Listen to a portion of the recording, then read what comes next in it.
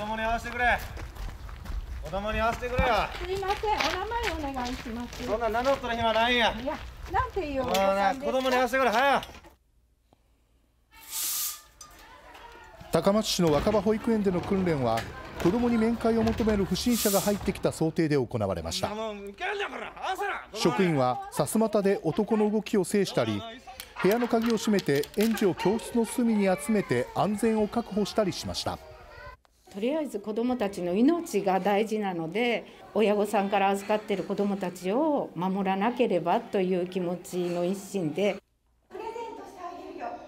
訓練の後には防犯教室が開かれ子どもたちに知らない人に声をかけられてもついていかないよう呼びかけました。